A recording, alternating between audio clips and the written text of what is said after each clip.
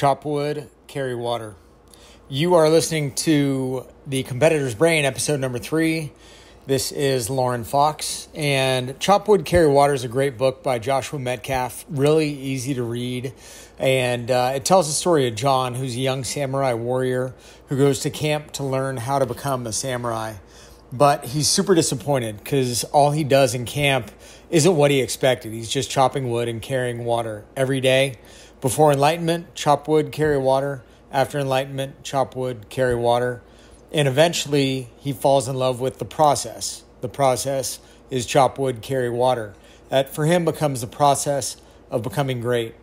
And to him, greatness is a bunch of small things added together that most people think are too small to matter.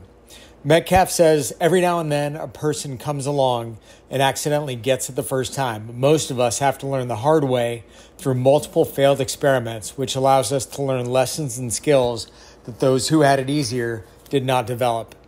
In the off season, you have more time to chop wood and carry water.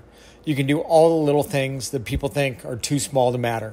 You can do different things. You can lift heavy, you can do a throwing program, you can have a diet because you'll have more time but you have to have a plan for it. You can also sleep more too. That's super important. You can do big things, physical fixes, surgeries, physical therapy, other things like that. You can work on mental skills. You can work on recruiting, getting yourself out there to coaches, doing things that your opposition might not be doing to get yourself in front of the coaches at places that you want to play, setting goals, deciding what your MVP process is. We'll talk about that later. But in short, you have a chance in the off season to decide who you want to become.